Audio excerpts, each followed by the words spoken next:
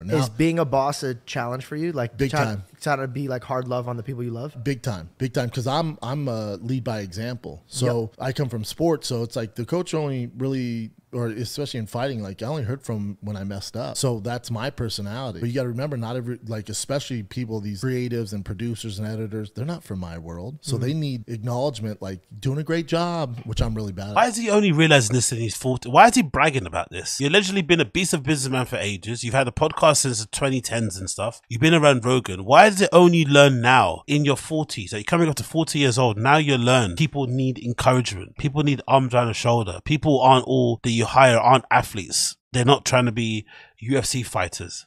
Huh? This is how you learned that just now. because I'm from sports, so of course you're supposed to score touchdowns. What do you what do you think you're here for? Yeah. So yeah, score touchdowns, but they don't say anything. You throw an interception, you can hear from them. So that's just my mentality. I have so I gotta do better. exact I gotta do. I gotta do a better job being like great, which I'm getting better at. Being like, hey, great job. I love these like self-deprecating, almost self-deprecating humble brag things that they do. It's an LA thing as well. You lots of people doing. Like you don't really want to change, so you mention stuff that's like easy for you to kind of fess up and admit that won't hurt oh, your ego too much. So it makes you look human. Then you're not really addressing anything. You know, you just kind of it's kind of performative. It's a little bit just like for the sake of it. Let's just say this and make it sound good. Does that make you a better father? Because I Uh. feel like sometimes you feel like a dad when you're like, for example, like my sister came and she sacrificed her career. She was going up really high in Apple, and um, she was already like literally paving her her future out until I had enough of dealing with scumbags in LA. LA. So I go, hey, like I need you to move out. It's the time. Like I need you to start managing and helping me out Yep. and doing stuff. And um, I love that because my brother's my manager. Exactly. So she's my she's like she helps coordinate all these things. But when we first started bumping heads, there's like one we had to get Who demands that from their siblings? Is that just different sibling relationships? Do you ever stand there like, hey, you need to quit your job and come help work for me? Like, who does that? They want to come do that for you, fair enough, but isn't that weird? get rid of the idea of like we're brother and sister working. Can't have it. Can't have that. And then also it's like I, for example, like Reed, he he's like the way I, I treat him is different than how I treat my girlfriend when we work together versus how I treat uh, Jessica. And I realize now as an adult, I have to be different to each one and coordinate to their feelings.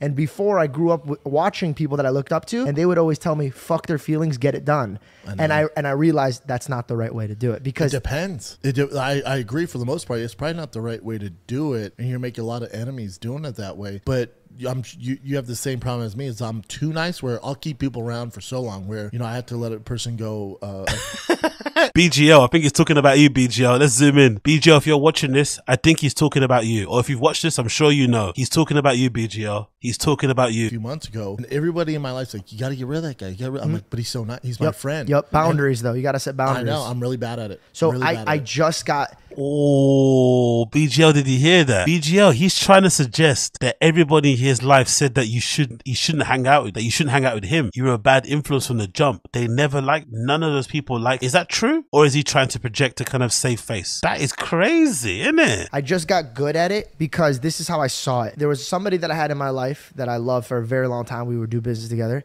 and he crossed the line with me.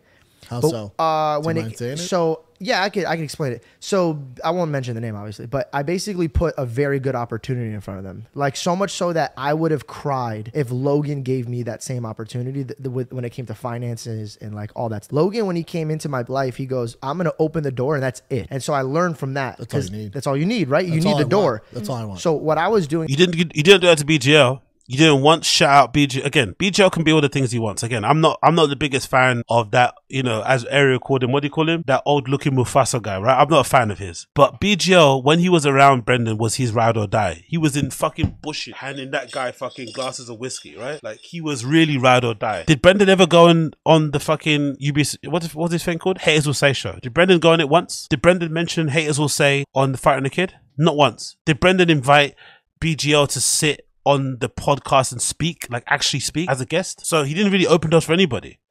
Everyone that kind of everyone basically used him platform and kind of did what they needed to do, but it wasn't like he opened doors for them really. They just did what they needed to do, innit? They kind of figured it out. So this whole opening doors thing is hilarious because Logan definitely did help this guy out a big time. That's why he's super appreciative and clearly still has love for the guy. But come on, Brendan. Come on, brother. is I was busting my ass for him, and I wasn't expecting a damn thing Nor beside giving me the exposure and giving me the time. Perfect. Right? That's how my relationship with him, and I, and I would cry myself to sleep being grateful for it. Yep. Because, for example, look what I have now, all because he says, "No, I like this kid. I want him on my show." Correct. Right. I gave him that plus more, two times more money than I started with. Just because I don't worship money, and it's for me to practice not worshiping money, I like to put money in the pockets of people that I love and have them be fruitful. And all I ask is know that it doesn't come from me, it comes from God. And then two, go out and do the same. Yep. So this is how I try to plant Love my it. garden. Yep. He made it seem like it was insulting what I offered him. Interesting. And that shattered me. Isn't that wild when you re- realize how bad? Like, I don't want to say he's a bad person. I don't know who you're talking about, but same thing. I've given people some opportunities, then where it goes south, whatever reason, they take no ownership. No, no, no, no, no, no. Not whatever reason. I like how he doesn't take any ownership or accountability of what he could have done. What do you think you could have done that would make somebody who was willing to stand in bushes on live streams in fucking bush pots and shit, holding a fucking glass of whiskey? What makes you think that guy turns into another guy? Like, how's that happen? What what could drive someone to do that? Maybe owing them money, maybe not giving them any, you know, encouragement, maybe dismissing their work, maybe you know using all their personal stories and anecdotes as pe- parts of your material when they keep telling you not to do so. Those things might get on people's nerves, isn't it? But again, it's all their fault. Above it, and then it's like, oh, he's a bad guy. I'm like, what? I hope. Are you kidding me? All the shit I did for you. I like see he can never be a bad guy. Look at this, Brendan. Please seek help. See the light. Sometimes you can be a bad guy. I know you think you're the best guy in the world and you're the beast of a dad, beast of a stand up, beast, beast, beast. But sometimes you can be a bad guy. And then They paint you as the villain. Yeah, oh, That's yeah. And then that- you I realize, would, I like, would want to kill myself over that, bro. I How don't do you forget You shouldn't, a though. thousand things that I you would shouldn't- do? George. You shouldn't though, because you know, you know, you're a good person. Look at all these people. Like, sorry, you know, you're a good person. So I don't care.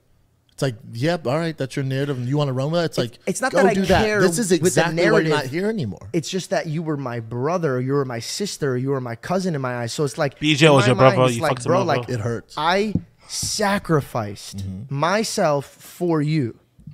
When other people in the industry wouldn't sacrifice, they would just give me an opportunity. Yep. There's a difference from giving somebody an opportunity and sacrificing yourself for them. Okay, so I do that, and every time I lose one person, I lose the other person. I would literally sit here and I would cry to her, and I would literally pray out to God, and God, open my eyes and heart. If it's me and I'm the piece of shit, correct me.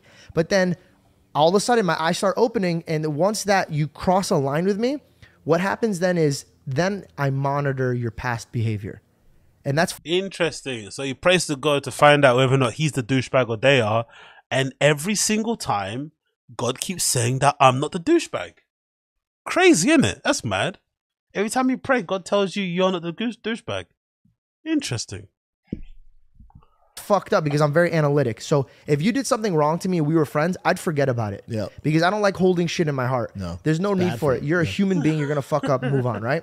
But if you get to a level where you cross that line with me and we take that time apart from each other and I sit there quietly and I reminisce with all the things you did to hurt me, You see so, so many com- a common theme. You're like, oh my god, how did I not see it's a this pattern earlier? and not potential. Yes. And I think we do that in every relationship. We fall in love with a certain person or a thing and go, well, if he acts like this, then it'll be perfect. Or she acts like this, then it'll be perfect. You don't see like, the downside. You need to start realizing the pattern and and realizing that if this person is not uh at least not, I, I don't even ask people, don't try to rocket ship me. I don't need you to be my fuel. No. But I need you to be my friend. Yep. I don't need you to be an anchor. So like if you're holding still and and your your decisions are decisions that I wouldn't take pride in.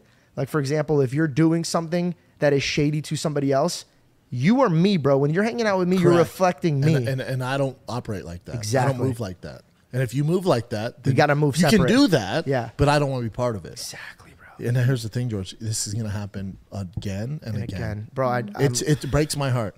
But uh, I have the thickest skin for it now. I'm is that what The thickest boy, the thickest skin, all lies. Everybody runs away from you because you're bad for business, brother. You're quite toxic. You're pretty toxic, especially with the Callen rapes and your dramas. It's just too much. People just run because normal people can't handle it. Normal people, when they put out Instagram posts, they don't want to be inundated with a flood of people saying addies. house socials, trug walks. You know what I mean? Like they don't want that. They just want to put out a, a, a thing, maybe get trolled a bit, get some LOLs, but get some fire emojis, some heart eye emojis. That's it. But when they get associated with you, they immediately get locked into the vortex of your Philippine nonsense because you don't seem able to take account- accountability, sorry, for your actions and how it may have influenced some people's decision or idea of what you like as a person. He just doesn't see it. That's what we're saying here is a classic, classic, classic, classic narcissist.